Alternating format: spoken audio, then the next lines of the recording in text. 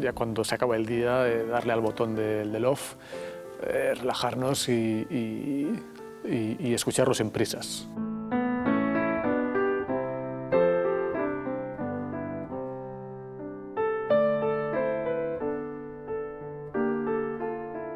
Son temas eh, muy pausados, jugando con la elasticidad del tempo y, con la resonancia del piano.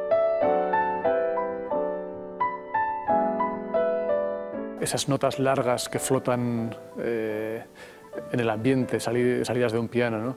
a mí me, me transportan a, a otro lugar.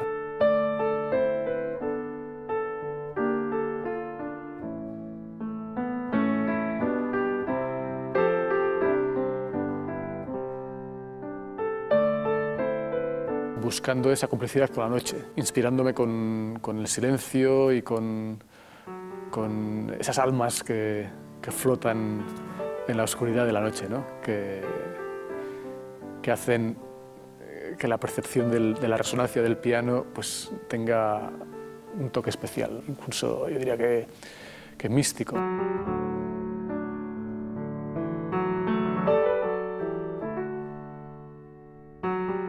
Durante tres noches eh, toqué varias veces los, los temas eh, de maneras diferentes y, y luego escoger eh, las mejores pues ha sido lo que más me ha costado.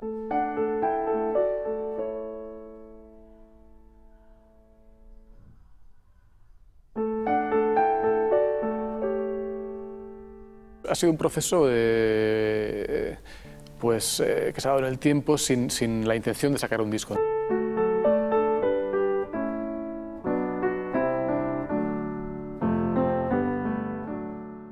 Gusta tocar el, piano de noche, con, con, pues, sintiendo esa tranquilidad y tiene un, un efecto terapéutico en mí. Y esos temas han surgido en esos momentos en los que he estado ya yo solo, sin, eh, tocando sin presión. Me he dejado llevar.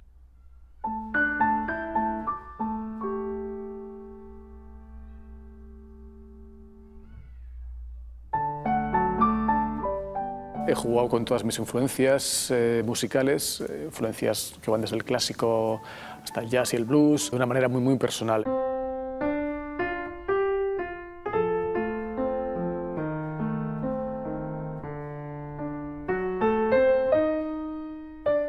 Yo creo que al final eh, la escala tiene 12 notas, ¿no? Y, los estilos están mucho más cerca de lo que nos hacen creer.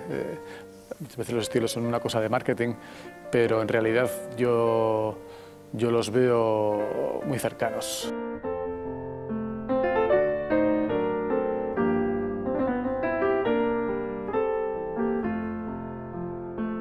Para mí ha sido agradable que el disco sea homogéneo, ¿no? Eh, aún teniendo todos estos elementos distintos.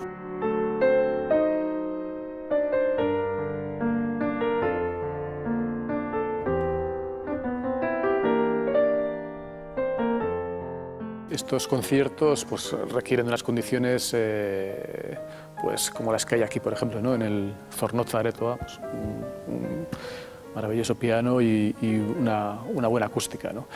Eh, entonces, eh, serán conciertos que, que, que, que se darán en, en, este tipo de recintos. Para empezar, eh, lo presentaré en el Festival de Jazz de San Sebastián.